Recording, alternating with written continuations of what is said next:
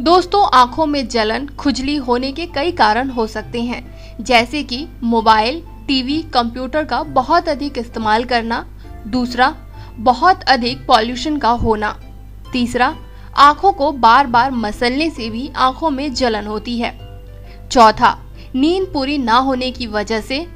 तो दोस्तों, ये तो है कुछ कारण आँखों में खुजली और जलन होने के। अब जानते हैं इसे ठीक करने के घरेलू उपाय क्या हैं। पहला, बर्फ़ की सिकाई। आँखों में होने वाली खुजली को दूर करने के लिए बर्फ़ को कॉटन के कपड़े में डालकर आँखों की सिकाई करें। हर दिन तीन बार इसे करने से आपके आँखों की खुजली दूर हो जाती है।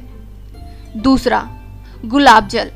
गुलाब जल आपके चेहरे की सुंदरता को बढ़ाने के साथ साथ यह आपके आँखों को भी प्रोटेक्ट करता है। आँखों में जब जलन या खुजली हो तो रोज गुलाब जल की कुछ बूंदें आँखों में डालें। इससे आँखों की खुजली और जलन दूर होती है। तीसरा, आलू, खीरा, ककड़ी, ये तीनों ही आँखों की जलन दूर करने में बहुत ही कारगर होते हैं।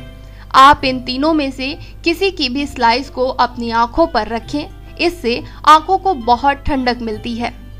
चौथा, ठंडा दूध। ठंडा दूध भी आँखों की खुजली को दूर करने में बहुत मददगार होता है।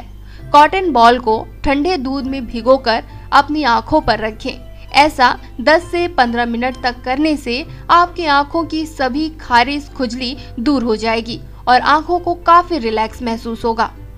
पांचवा, टी बैग। आँखों की जलन को दूर करने के लिए टी बैग भी बहुत फ़ायदेमंद होता है।